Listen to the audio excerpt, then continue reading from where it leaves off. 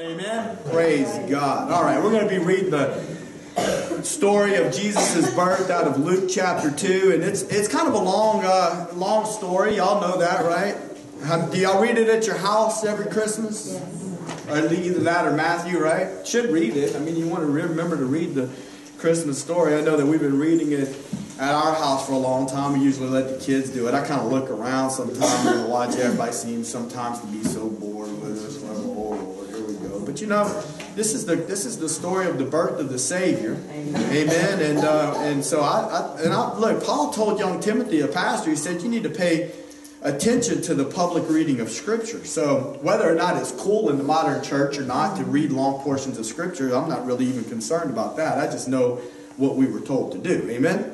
Well, the title of my message this morning is This is my word, this is my will. Will you hear?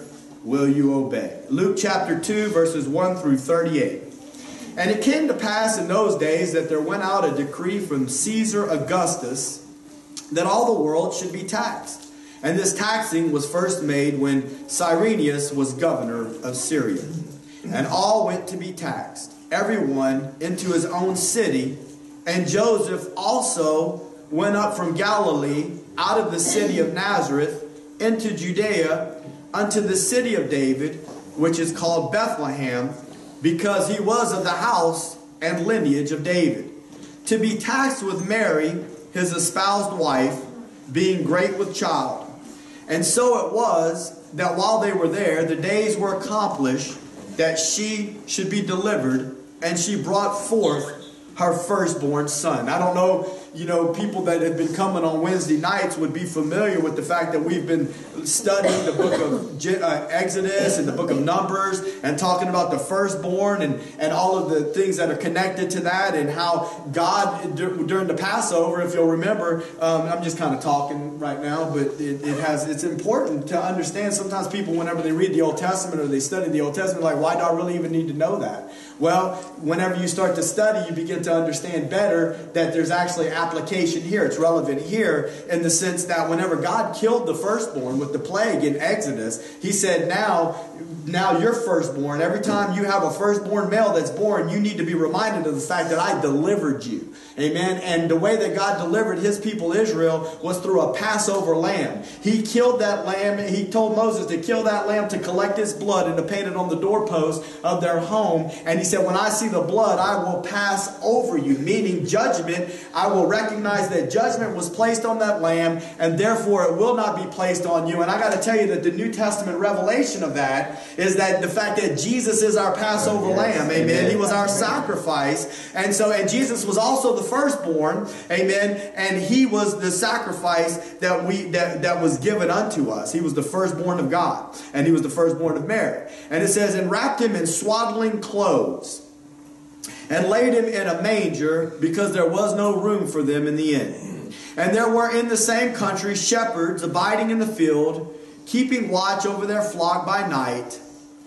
And lo, the angel of the Lord came upon them, and the glory of the Lord shone round about them, and they were sore afraid. And the angel said unto them, Fear not, for behold, I bring you good tidings of great joy, which shall be to all people. For unto you is born this day in the city of David a Savior, which is Christ the Lord. And this shall be a sign unto you. You shall find the babe wrapped in swaddling clothes, lying in a manger. And suddenly there was with the angel a multitude of the heavenly host, praising God and saying, Glory to God in the highest, and on earth peace, goodwill toward men. And it came to pass as the angels were gone away from them into heaven, the shepherds said one to another, Let us now go even unto Bethlehem and see this thing which has come to pass, which the Lord has made known unto us. And they came with haste, and found Mary and Joseph and the babe lying in a manger. And when they had seen it, they made known abroad the saying which was told them concerning this child.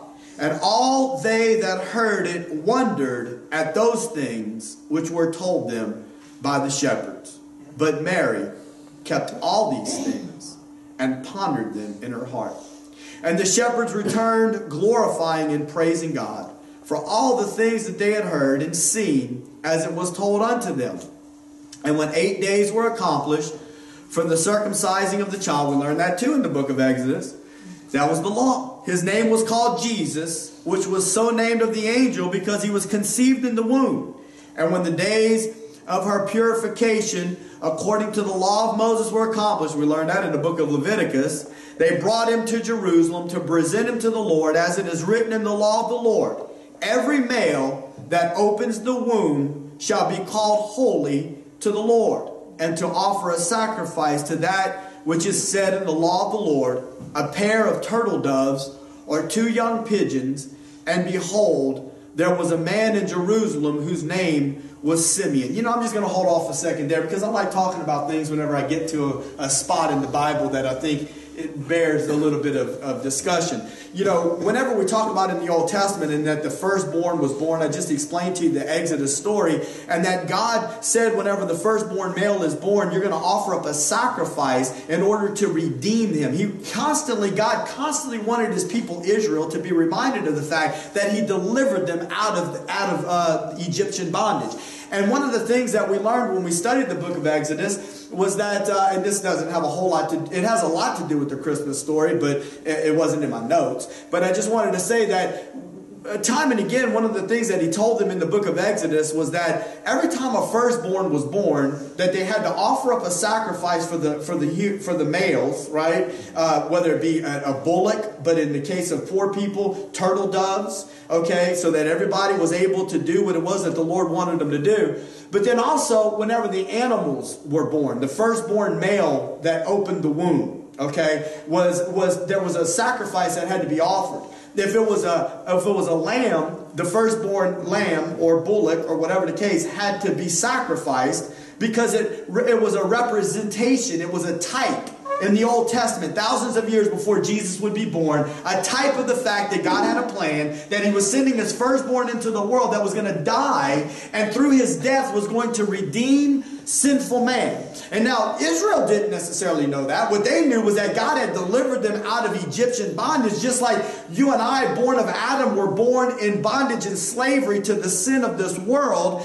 His people Israel had been enslaved to Egypt, and God delivered them out. But listen, when, so if a, if a lamb was born and it was the firstborn male, you had to kill it. But even the donkey, the unclean, had to be redeemed. And this was the thing: is if you wanted to keep the donkey then you had to offer up a lamb in its place. But if you didn't want to keep the donkey, then you could kill the donkey. Listen, and something had to die as a remembrance that God had delivered his people. And he kept telling them, You're going to do this every year. And to the point where one day your children are going to get old enough to ask.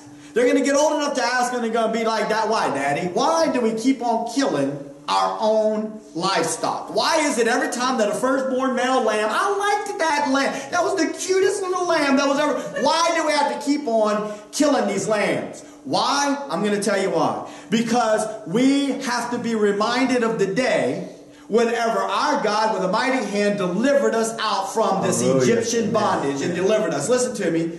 That's what we're supposed to do as Christians. Right. We're supposed to train our children up in the ways of the Lord. Right. We're supposed to tell them until we can't tell them anymore. God said in the book of Deuteronomy that you're supposed to write it on your forehead, wear it as a bracelet on your wrist, put it on a placard on your house. You tell them when you wake up in the morning and you tell them when you go to sleep. You tell them at the dinner table and you tell them throughout the day. They might get tired of hearing it. They might start squinching up their nose and looking like the Grinch when you keep on talking about Jesus but that's neither here nor there. It's not for you to worry about how they respond. If you're going to be a parent that's going to raise godly seed, you are to do what the Lord has told you to do, whether they receive it today or not. The Word of God says that if you train up a child in the way they should go, when they grow old, they won't depart from it. They might have to go through some things, they might have to experience some pain and some circumstance, but if you will do what God has asked you to do, they will at least have been introduced to the truth of the gospel, they will at least have been told the story that God had a plan and that He sent His Son, amen, to die. And that's what He did for Israel. He wanted them to know and He wanted them to be reminded time and time again that He had a plan, amen, and He wants us to do the same. And so that's where we ventured off there. They were bringing two turtle doves or two young pigeons.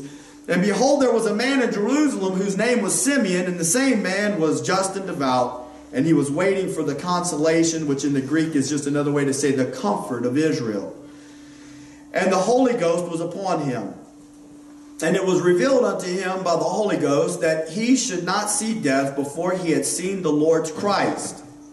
You know, uh, we talk about this. A lot of people in my church know this, but the word Christ literally means anointed one. I don't mean to be silly, but it wasn't his last name. Some people don't even understand, you know, what the word Christ means. It means anointed one. It means that God had been promising that he was coming. And so Simeon had been told that he would not see death before the Lord's Christ. And he came by the Spirit into the temple when the parents brought in the child Jesus to do for him after the custom of the law. Then he took him up in his arms. I read this story multiple times, and I think it's the first time it ever stuck out to me. Simeon grabbed a hold of baby Jesus. He, he grabbed a hold of him, he took him up in his arms, and he blessed God and said, Lord, now let your servant depart in peace, according to your word, for my eyes have seen your salvation, which you have prepared before the face of all people, a light to lighten the Gentiles you know, there, I, I could preach a message just off of that right there. A light to lighten the Gentiles. What does that even mean? Mm-hmm. A light to lighten the Gentiles. Well, listen to me. Gentiles were all of those nations that were not Israel. Israel because of the Exodus, Israel because of the sacrifices, Israel because of the yearly reminders, knew that there was a God who had a plan, who promised to send the Christ, but all of those other Gentile nations, listen, at the time of the Apostle Paul, there were places that churches were established, places like Ephesus, places like Corinth, places like Greece, what we know today as Rome, Italy. You know, they were worshiping false gods over there. You know that? Like in Ephesus, they worshiped some goddess named Diana. They were in darkness. They were basically demons that they were worshiping. That might offend some to say that other religion. No, it's you're either worshiping Jesus or you're worshiping demons. That's just the truth. Do you think that the people liked it in Ephesus whenever the Apostle Paul showed up and began to tell them that they were worshiping false gods? No, they didn't like it. They wanted to stone him. But there's either right or there's wrong. It's either the truth or it's not. Right. And, and, and listen, he said this. He said, You have come to bring light to enlighten the Gentiles. When you don't have light, you don't know where to go.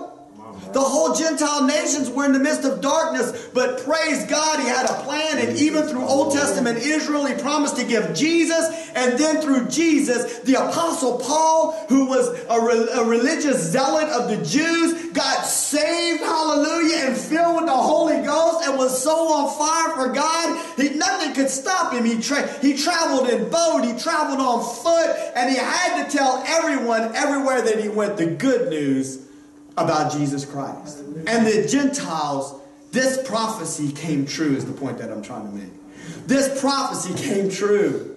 Listen to me, you can't get you can't get excited enough about God's plan. And not only that, but Lydia, the first European, we're on Lydia Street, the first European convert, Lydia, listen, she got saved on European soil. Western civilization received the gospel of Jesus Christ because of the Apostle Paul. The pilgrims showed up on this land right here. And they planted, at least according to the rotunda in Washington, they planted a cross in the soil, in the sand, and they said, This nation's going to be for Jesus. and what I'm trying to say is that had it not been for the gospel, the Gentiles wouldn't have light. They'd still be in darkness. People like you and me, we wouldn't know who to worship. We wouldn't be able to have the opportunity to hear the gospel. God's plan works. Amen. And Joseph and his mother marveled at those things which were spoken of him. And Simeon blessed them and said unto Mary his mother, Behold, this child is set for the fall and rising again of many in Israel, and for a sign which shall be spoken against. Yea, a sword shall pierce through your own soul also. Simeon told Mary, A sword is going to pierce your soul, that the thoughts of many hearts may be revealed. You know, we don't need to take too much like and feel like Mary's some co-redemptress. That's not what's being said here. Basically, what he's telling her is, you're going to experience pain related to the birth of this boy. And the reason that you're going to experience pain of what's happening to him is it's going to bring revelation about the hearts of many because of it. See, whenever the gospel of Jesus Christ is spoken and preached, you're, you're faced with an opportunity. You're faced with an opportunity to either reject that gospel or to accept it and allow your heart to become a manger for the birth of Jesus to take place on the inside of you. And when you allow the birth of Jesus to take place on the inside of you, guess what happens? Your heart, your own very heart, listen to me, it, whether you be an unbeliever today or a Christian today, when you submit to the gospel of Jesus Christ, your own heart is revealed unto you. Because when you become a Christian, the Holy Spirit comes to live in your heart. And He begins to reveal unto you. Through the Word of God and the Holy Spirit in, in unison, the heart of man is revealed unto him. Nothing else can do that. The psychiatrist can't do that. Sodium pentothal can't even do that like Jesus can do it whenever the Holy Spirit is given liberty to work in the hearts of men. Amen. He says, Behold, this child is set from the fall and rising of many. Yea, a sword will pierce through, and the thoughts of many hearts may be revealed. And then, that was Simeon, there was one Anna, a prophetess, a daughter of Phanuel of the tribe of Asher. She was of great age and had lived with a hundred. She and had lived with a hundred seven with a husband. I'm sorry, with a husband seven years from her virginity. So basically, she was married for seven years. And then she was a widow for about 84, which departed not from the temple. So after her husband died, she just lived at the temple of the Lord. And uh, but she served God with fastings and prayers night and day. And she coming in that instant gave thanks likewise unto the Lord and spoke of him to all them that looked for redemption in Jerusalem. I, you know, there's just so much going on here. I know I kind of interrupted the story, but there's a lot of things that are going on here. I mean, Jesus is born. The angels are singing. The shepherds get a revelation. You know, they bring him to the temple. Simeon shows up. He gives a prophecy. Then this old lady Anna shows up. Everybody's being led by the Holy Ghost to move towards this situation, amen, amen that's taking place. And the story of Jesus really does seem to be a little incomplete if we don't at least talk quickly about the wise men, right? I'm not going to read it. I'm just going to real quickly just say the wise men followed that star all the way from the east. And we don't know with certainty how they knew it was his star. I've talked about this before in the church. But I have to believe that it was a mixture of the same thing that moved upon all of these people that we just heard about in the previous story. A mixture of the Holy Spirit and the Word of God that moved upon them to move towards this birth. Amen? Now, I can't prove this, but if you can come up with a better reasoning other than this, then you let me know, okay? I mentioned before that in the ancient Old Testament, approximately 1450, 1500 BC, in the book of Numbers, there was a prophecy that came forth, even really from a false prophet named Balaam. He was sent by a king to curse the children of Israel. But what he came up with was that he could only speak what God told him to speak. And what God told him to speak was, and he, when he got a revelation, he said, I'm in a trance, but my eyes are open, and what I see is that there's going to be a star that rises out of Jacob. There's going to be a star that rises out of Jacob and a scepter. It's not here yet, but it's coming, and a scepter will be in his hand.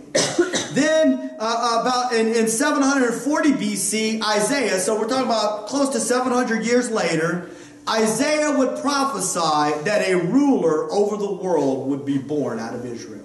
So we have a 1500 BC prophecy that's recorded by in the book of the Jews that says that Jacob, a star is going to rise out of Jacob right? Which is, y'all know who Jacob is, right? Okay, we got to back up a little bit. It's okay. We're going to take our time. Some people, we got some guests today. That's why, they, whenever y'all get aggravated with me on Wednesday nights and Sundays, y'all like, oh, the preacher keeps repeating the same thing. That's because you need to know the Bible. And I can't make you read the Bible on your own, so I'm just going to keep on repeating the same thing. Listen, God had a plan, and there was no nation called Israel, and He called a man named Abraham, and He said, I'm going to make a nation out of you. And He gave him a son named Isaac, and Isaac had two sons, and one of his sons' name was Jacob, and out of Jacob came the 12 tribes. The prophecy said that there's going to be a star that rises out of Jacob, meaning it's going to come from Israel, because Jacob's name was changed to Israel. And so 1500, a star is going to rise. 700, Isaiah says a ruler will be born. And then Daniel in 600 BC. I'm trying to tell you that I can't prove it from the scripture, but there's no better way to figure out how these wise men knew that this star had anything to do with a king. I'm here to tell you how they knew. Daniel in 600 BC was deported from Jerusalem to Babylon, where because of his obedience, God raised him up and put him over all the wise men and all the astrologers in the area of Babylon, and then later also in Persia, which is the east where these wise men came from. Now, listen to me. If you're going to think for one second that Daniel did not go around talking about the scriptures that he knew and had learned as a young boy, when he was the one who God saved out of the mouth out of the mouth of the lions, when he was the one that refused to eat the king's meat and drink the king's wine, when he was the one that refused to bow down or not to bow down and to kneel and to pray at 9 a.m. and 3 p.m. to his God and his God alone. No, Daniel was a man of God, and in spite of all of that, God still raised him up because God had a work for Daniel to do. And it's just my belief in my heart that Daniel told these wise men, there's a star. There's a star that's going to rise in the sky one day. You want to look at the, the stars, Mr. Astrologer? Well, you need to look on the horizon because there's coming a day when there's a star that's going to rise up and it's the star of Jacob and there's going to be a scepter in his hand because it's the star of a king. That's what those wise men said they were coming looking for. We're looking for a star for the king, the king of the Jews, because his star is in the sky and we have seen it. And there it is, 600 years later, at the birth of Jesus, these wise men from the east come seeking for a star and looking for a king. It's amazing how God proclaims and preserves His Word. He uses men as mouthpieces. He uses men as writing instruments to document and to preach His Word. He will accomplish His Word. He looks over His Word. Amen. I need you to know that even Caesar, Caesar didn't even know. Even he even uses the ignorant to accomplish his word. Uh-huh. Caesar didn't even know that he had a part in fulfilling prophecy. In the year Caesar causes a taxation to take place, everyone has to go back to their hometown. David, up in Nazareth, near the Sea of Galilee, has to travel some 60 so miles all the way down to Bethlehem, where the lineage of his family was from, the city of David, because Joseph and Mary both come from descendants of David. They had to travel down. Caesar didn't know that he was fulfilling prophecy. God orchestrates the, the, the, the, the movements of mankind. God orchestrates the history of mankind. God is in control. Amen. Not man. God is sovereign. Man can try to fix things all he wants to, but God is maneuvering and accomplishing his plan. God looks for people who will be willing to allow their lives to be governed by his word, and even then through them, he accomplishes his will and he will protect his plan in his word. I just had this one scripture I wanted to put up real quick Jeremiah chapter 1 verses 11 through 12. I, I, I, as I started looking at this, I was just thinking of the fact that all the prophecies that were fulfilled through this one birth is just amazing. But I wanted you to see that sometimes, whenever you look at the earth and you look at the world and you see the way things are going, we have a tendency to get shaken a little bit. And we start to wonder, is God really in control? But this scripture here was to the words of Jeremiah. Now, in this first chapter, God, let me just give you a little context. God had called Jeremiah to be a prophet. He said, Before I formed you in your mother's womb, I already called you to be a prophet. And then he said this I'm going to put a word in your mouth, Jeremiah. And when I put a word in your mouth and I tell you to speak it, don't look at the people's faces because they gonna make some crazy looking faces at you when I tell you to speak forth my word. Don't you be confounded or confused by their faces because I'm going to take care of it all. And then he says this he says, of the priests that were in, uh, in the land of Benjamin. I'm sorry, it's Jeremiah chapter 1, verses 11, starting in verse 11. It says, uh, Moreover, the word of the Lord came unto me, saying, Jeremiah, what do you see? This is after he's told him, I've called you to be a prophet. I'm going to put the word in your mouth. And then he's asking him, What do you see? And Jeremiah says, I see the rod of an almond tree. Oh, okay. What does that have to do with anything? Well, Jeremiah knew what it meant. You and I might not know what it means. But see, they called the almond tree the awake tree.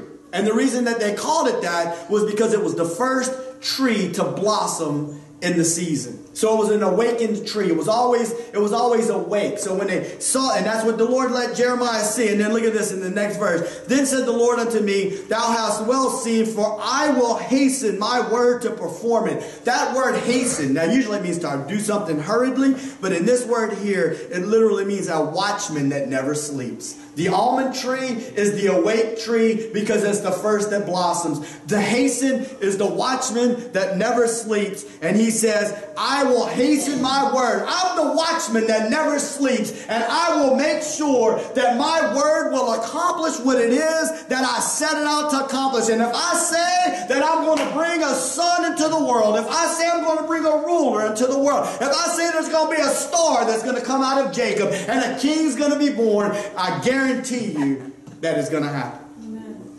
How the word of Jesus' birth affected these characters that we read about. The first ones that I thought about were the angels. The angels praised and proclaimed the word of God. Look at Job chapter 38, verses 6 through 7, real quick. I thought this was amazing because in Job 38, what the context is right here is, is that the Lord Job, you know, Job went through a lot. He went through a whole lot more than any of us have ever been through. I mean, we've been, you know, a lot of us have been through some things, but we ain't been through what Job's been through. Right?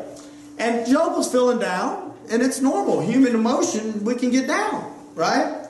But finally, the Lord said, You know what, Job, why don't you just stand up? Stand up and gird your loins, and I'm going to ask you some questions, and I want you to give me some answers. Because you seem to seem like you got some answers. And one of the things he started asking, Were you there when I created this world? Job. And that's what he's talking about in Job 38, verses 6 through 7. Whereupon are the foundations thereof fastened? Who laid the cornerstone thereof? Now, if you've studied with us, then we then you've learned that a cornerstone is connected to the foundation of a building. Nowadays we pour a slab, back then they laid a cornerstone. It was the first piece that they would build a foundation upon which they built something. God's asking Job, Were you there when I laid the cornerstone of this building that we call this earth that you live upon? No, you weren't. But what I will tell you is this is that the stars, the morning stars sang together, and all the sons of God, that's another way of saying all the angels of God, shouted glory when I laid the cornerstone. This morning I was reading that, I was like, Lord, you are so good. The Lord started preaching to me in my heart because Jesus was the cornerstone. You hear what I'm trying to say? Whenever God laid the four, first cornerstone, of the original creation, the angels of God sang hallelujah. And when he brought the cornerstone of the new creation upon the earth, the firstborn of God, to allow a new creation to take place in the hearts of men, the angels sang and gave glory to God. On this night that the Lord was born, the angels sang, they proclaimed, and they preached the gospel, hallelujah, of Jesus Christ. The angels proclaimed, the shepherds preached. The text said that they, with haste, hurriedly, they said, Let us go to Bethlehem. And they found Jesus. And then it says they went around telling everybody the news. You remember that? When we read it, they went around telling everybody the news. Simeon.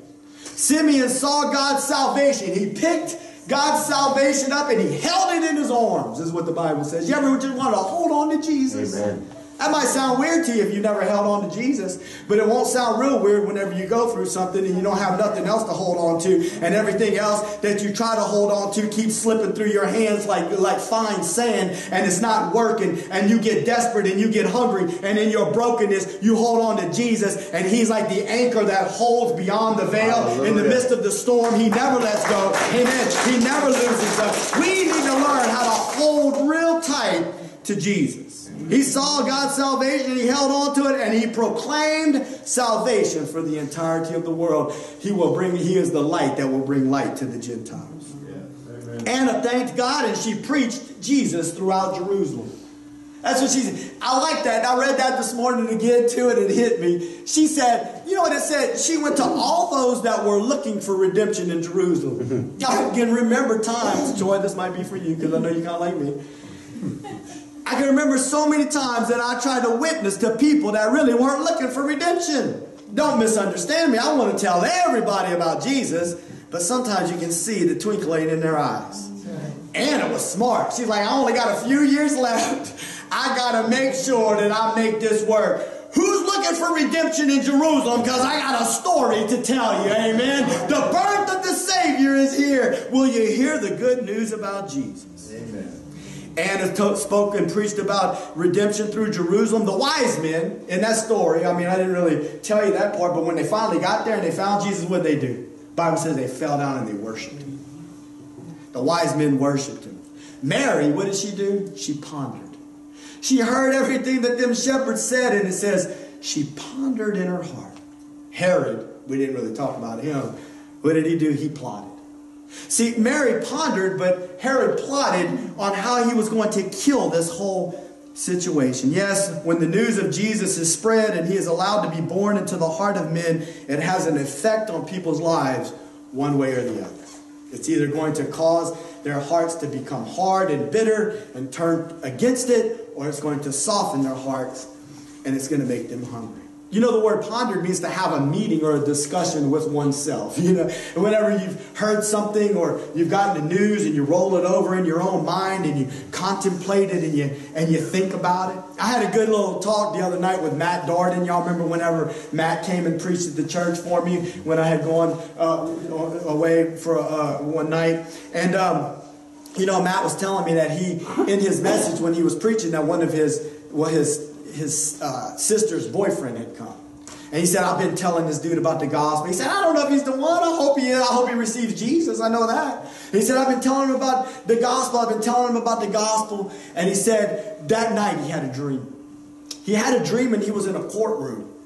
And essentially the dream was, was that the enemy was trying to call him guilty because Matt had been talking about justification that, that God in heaven can declare you innocent of all charges based on the blood of Jesus Christ. And I'm, what I'm trying to say is, is that that young man was pondering the gospel in his heart. He was having a discussion within himself, so much so that he went to bed and he had a dream, and the enemy was trying to call him guilty. But the good news is, is that if you have received Jesus Christ, amen, you're no longer guilty because amen. of the blood of Jesus. Amen. I thought about Herod, you know, plotting. And I thought about him trying to kill all those babies, Satan using him to try to kill all those babies, but uh, to, to, try to destroy God's word and God's plan. But God said, like a sleepless watchman, like an almond tree that blossoms first in the season, I will guard over my word and I will make sure that it accomplishes what it was intended to do. But when I thought about that happening, it made me think about abortion and how Satan wants to destroy life and prevent souls from really ever hearing this story about this baby born in a manger. I just was curious, so I started to kind of Google notable people who were nearly aborted. You'd be interested to hear this list of people. Steve Jobs was almost aborted. The guy for Apple Computer was almost aborted. That, this does not by any means say that I'm endorsing any of these people's lifestyles, by the way. I'm just telling you who almost was aborted. Cher was almost aborted. Jack Nicholson was almost aborted. Justin Bieber was almost aborted. One interesting note on Justin Bieber, he said, this is what Justin Bieber said A fetus is a person, it's a life. Now, don't leave here thinking that Justin Bieber mm-hmm. saved just because he said that, because he got a big old Illuminati tattoo on his inside of his forearm. But what I'm saying is, is that I thought that was interesting. Justin Bieber is over here pro-life. Yeah, because his mom almost killed him.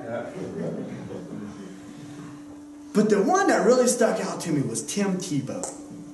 Tim mm-hmm. Tebow was almost aborted. Now, the story behind that is a little bit different. This is the story behind that. His parents were missionaries in the Philippines. His parents were missionaries in the Philippines, and she didn't know she was pregnant. She contracted dysentery, and she became deathly ill. She was in so much pain that they just given her huge amounts of uh, pain medications and anti-infectives, and it wasn't until later that they realized that she was actually pregnant. Once they realized she was pregnant, based upon all of the medications that they had been giving her, they had a very poor prognosis, right? They said, This is not good. We wish you would have known. But now, because of this, you're going to just go ahead and you're going to need to abort the baby because it's not going to be a good thing. Then to make matters worse, her placenta started to detach because she wasn't going to listen to them at first. but then all of a sudden her placenta started to detach and she started to lose blood. And it was really getting bad. And they kept telling her that she needed to abort the baby, but she refused to listen to what they said again and again. They explained to her as though she were an ignorant child that the baby would be malnourished and be permanently damaged if he even survived. Hmm. My mom gave me Tim Tebow's book and I read it. And in one of the quotes this in his book, Through My Eyes, Tebow wrote this The doctor told my mom that she needed to abort the clump of cells that was in her body and that those cells were no different than a tumor in her belly. They wanted to take me out and throw me away. Wow. Wow. I know that people have differing opinions about Tim Tebow, whether or not he was ever really an NFL quarterback. Uh, but I do know this. I can tell you he was a winner, he's a fighter, and he's told a whole lot of people about Jesus. And while he was on his way to winning the Heisman Trophy as the quarterback at the University of Florida, he would write scriptures on the black tape up under his eyes. I don't know if y'all remember that or not, but he would put those scriptures and he changed the scripture up every week. And while he did that, it was proven that that was the scripture, whichever one he had under his eye, was the most Googled and searched after scripture in the whole nation for that week. Listen to me, until the college people started complaining about it, then he gets to the NFL and they don't want him kneeling anymore because he knew that he had a purpose in his life and Jesus had been born in his heart and he wanted to let people know about the good news of the Savior. To think that they said that he was going to be malnourished. I mean, this is this guy was an animal, right? People were researching to see what Tim was saying, and what he was saying was the same thing that the angels said. It was the same things the shepherds said. It was the same thing Simeon said. It was the same thing that Anna said. He was saying the same thing that Herod tried to kill. He was saying the only thing that brings life on this earth, good tidings and peace to all men. For unto you in the city of David is born a Savior. Amen. His name is Jesus. Amen. Last week we focused on Joseph in relation to his response to the news about Jesus. This week, two things stuck out about Mary in my mind. Number one, point number one, she submitted to God's will for her life. Luke chapter 1, verse 38. And Mary said, Behold, the handmaid of the Lord, be it unto me according to your word. And the angel departed from her. She said, I am the handmaid of the Lord. Be it unto me according to your word. How can this be? She said, I've never been with a man. Whenever the Lord revealed it to her through the words of the angel, she said, Your word, let that be my will. Your will, let that be my will. Even though it didn't make sense to the logical mind, she had to make a choice on whether she was going to submit to the word and the will of God. You know, I know that there's times in our own life that we wish that God would send an angel. Amen. You ever thought about that before? Boy, I've been seeking the Lord about this, and I really wish God would send me an angel to make it clear. Amen. But I will tell you this God does desire to make it clear to us, and the way He wants to communicate to us is through His Word. He's given us His Word. The problem that we have many times is that we don't really know His Word. Now, I'm just being honest with you. And I can think that I can say that because I know that for several years as a Christian. I'm not trying to speak to everybody. I don't know how much you study your Bible. I'm just telling you from my own personal experience. I was a Christian for 12 years. I tried to go to Sunday school. I even tried to read my Bible, but I really did not understand it many times in its right context. And so I didn't really understand the Word of God. God's people have had a problem since the beginning in the garden when Satan approached Eve and twisted the scriptures through the time frames of, of, of Jesus' ministry or the Old Testament prophets twisting the scriptures, during the time frame of Jesus' ministry, the Pharisees had added 600, I can't develop this thought, but you got to trust me on this, 600 of their own laws that were not in the Word of God, they had added it to the law and expected the people to keep it. None of that was it. Still today, preachers take what they learned from their daddy preacher, from his daddy preacher. Not really necessarily their daddies, I'm just saying the fathers. They're learning empty traditions from their fathers the ones that taught them. This preacher teaches this one, that one teaches that one, that one teaches that one. And they never really all gone to the text. Well, I'm not saying that they never go to the text, but they're already going to the text with the mindset that they've already been infiltrated with, that this is what it says, instead of letting the scripture speak to them so that they can speak forth the truth of God's word. One thing I will tell you, I'm far from a perfect man, I'm far from a perfect preacher. But one thing that I can tell you that the Lord told me was this you keep your, this is how God talks to me. He may not talk to you this way. You keep your grubby little fingers out of my word. You find out what my word says and you let my word preach. Amen? Right. And if you let my word preach, then me and you can be okay and you'll be doing what it was that I asked you to do, which was to let my word preach. Speak it to my people. They might not always like the way you say it, they might not always like the way I said it, but if you will speak my word to my people, at least they can hear my word and they can make a choice whether or not they will listen and obey. Amen? Amen. While it may be a little different today, it's not completely different. Like we said, these preachers have done these things, but fortunately for Mary, that wasn't the problem. That wasn't the problem for Mary. She knew God's word because God sent an angel to tell her, Amen. I need you as a vessel. Will you submit? That was the next question. Will you submit? Two obstacles in the life of the believer His word, do we know it? Number two, His will versus our will. Will we submit? God's word works. I said it. I can't tell you how many times I preached it. The problem isn't God's word, the problem isn't God's plan. If there's a problem, the problem is with Matt. The problem is with Matt's submission. The problem is with Matt's surrender. God's word works. Amen. Amen. The question is, will we believe it? Will we surrender to it? That was number one. She surrendered, uh, submitted to God's will for her life. Number two, she pondered in her heart. Luke chapter 2, verses 18 through 19 whenever the shepherds were talking, it says, And all they that heard it wondered at those things which were told them by the shepherds, but Mary kept all these things and pondered them in her heart. Everywhere the shepherds proclaimed the news, the people wondered. They wondered, which means they were amazed. She pondered to have a meeting with oneself. In other words, she sat there and thought about all this that was going on. Robert sent me a video. I don't know if y'all saw it about those construction workers singing Mary, Did You Know? They, I heard it was on Facebook. And you know, I just was thinking about the words in that song. Mary, did you know that your baby boy would one day walk on water? You know, and all of these things that Jesus did. And she's pondering. I mean, she's getting a revelation of some of the things that God is already fulfilling, but she doesn't understand it all. She pondered. She's thinking on it.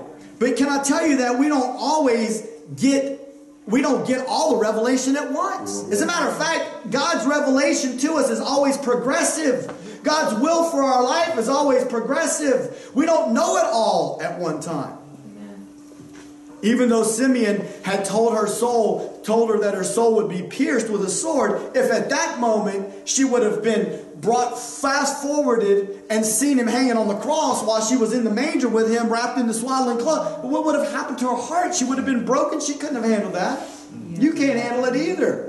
Because, see, I'm trying to make it personal for you today. That God has a plan for your life. First off, we need to know His Word, but we also need to understand that we need to that there's a time frame. She was pondering, but she didn't know the whole thing. She understood some things, but she didn't know it all. But when I think about all of the scriptures that were fulfilled here, and I know that she didn't know all of. But Hebrews 2.14 says that he, you don't have to turn to each one of them, but because we're just going to try to move through fast. But Hebrews 2.14 says that because the children were partakers of flesh and blood, he became the same. The scripture told us that he was going to be a man. Genesis 3:15, way back in the Old Testament, way back right after the fall, God told the serpent, "The seed of the woman will crush your head." The seed of the woman is going to crush your head. We were told that he would be born of a woman. Genesis 12, 1 through 3, we were told he would be he would come from Abraham. Numbers 24, 17, we already spoke about that. He would come from Jacob because a star would rise out of Jacob.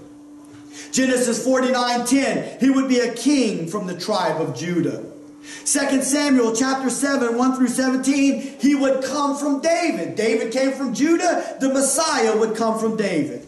Isaiah 7, 14, he would be born of a virgin. Micah 5, 2, he would be born in Bethlehem. Isn't it amazing that the wise men came through town and said that they were seeking the king, and Herod asked all the scribes, the teachers of the law, Where is he going to be born? Immediately, Bethlehem. Micah said he'd be born in Bethlehem, but none of them followed the wise men to try to find the king that they said had been born.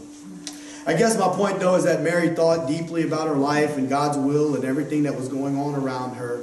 But I can assure you that she didn't know all this was being fulfilled through her willingness to submit to God's right. word. There's no way she knew all that all at that same time.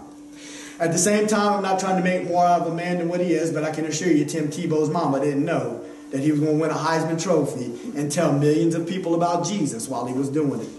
And also, but I will tell you this, she did know some, she knew God's word, thou shalt not kill. Amen. And she knew that God had a will for her life. I can assure you that you or I will ponder many things about God's will for our lives, but I can also assure you that we won't know it all at once. He will reveal His will to us one step at a time. But the first step started when Jesus was birthed in your heart. That's the meaning of Christmas to me. I'm getting near the end. Y'all hang with me. That's the meaning of Christmas to me. I'm not trying to be a Grinch. My, my family calls me Grinch.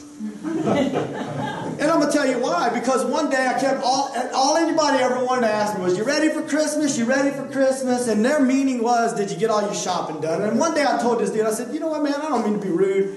But if, if, if, if you're asking me if I'm ready for all this commercialization junk, dude, I'm done. I'm done with this. Amen. And I told somebody that yesterday. Santa Claus done stole the show, man. Santa Claus done stole the show. And where's the glory for Jesus? Amen. It, for me, amen. You don't even have to clap. I know it's true. Christmas to me isn't Santa Claus. It isn't opening up presents. It isn't lights. It isn't trees. Christmas to me is remembering the birth of the King, the Savior of the world, and the fact that God gave the greatest gift of all, His only begotten Son, and that Jesus gave me a precious gift, His righteousness. When the exchange took place, He took my guilt on Him at the cross, and He gave me His righteousness, Romans 5.17, as a gift the gift Amen. of righteousness. Amen. Amen. I meant to put in here that Christmas also isn't the Saints beating on the Falcons today, although I will enjoy that quite thoroughly. But that's not Christmas. Christmas is Jesus. Amen. I'm going to close with a quick story. There was a preacher named Jess Moody, and he tells a story that one night he was teaching a Bible study, and in that Bible study audience was a woman named Rose Kennedy. Now, I can tell you that the Kennedy family were staunch Catholics, and I don't think that Rose ever grew up necessarily to be a great disciple of the Lord, but I can't say that. But this is the story that she was in that Bible study, and that night he challenged his hearers to make their hearts ready to meet the Lord because life is short for all of us, and no one knows what the future may hold. Rose Kennedy got up after he had said that and she walked up to him privately. Now, this was the mother of John F. Kennedy. She walked up to him privately and she said, Preacher, I just wanted you to know that what you were talking about tonight, she said, I did that. She said, I did that before. As a young bride, she said, I was caught up and enamored by money and power and all of the things that were connected to it. She said, and then my husband and I had a daughter. She was so beautiful. But before you know it, it became obvious something was wrong, and the doctors told us that she was born with a severe form of mental retardation and that she was going to have to be institutionalized. And the devastation that started off eventually turned to enormous anger towards God. How could you have done this to us? She asked the Lord. The anger became a kind of corrosive bitterness that drained every bit of joy from her life. One night, she and her husband were getting ready. They were about to go to, an attend, uh, to attend a social gathering, and they were getting all primped up. And they decided at the last minute not to go when she realized that her anger had consumed her. She said, if one person, one more person asks me how my daughter's doing, I'm gonna, I'm gonna go off. I don't even want to go to the social gathering. And in the midst of all of that, their maid, who had been working there, came up to her and said, Mrs. Kennedy, I've been watching you for the last few weeks, and I've seen how angry you are. If you don't do something, it's going to ruin you. I think you should pray this prayer. And this is the prayer that the maid of Rose Kennedy told her to pray when she saw her with all of her anger. Oh Lord, make my heart a manger where the Christ can be born. She fired the maid on the spot. but when she laid down in the bed that night to sleep, those words rolled over and over and over in her mind. She tossed and turned, probably on her high dollar cotton sheets. She couldn't sleep. And finally, she submitted and prayed, Oh Lord, make my heart a manger where the Christ child can be born. And you know what was interesting is this, like I said it earlier, she, I know she was a Catholic. I don't know how much she grew in the Lord, but I can tell you something had to happen to that woman that night. Because the first thing she did was she hired that maid back. she said, please come back to work. Come back to work for us. And that maid worked there for the next 20 years until she died. The point that I guess I'm trying to make is this, is that what did Mary, Tim Tebow's mom, and the maid all have in common? They heard the word of God. They knew the will of God and they obeyed.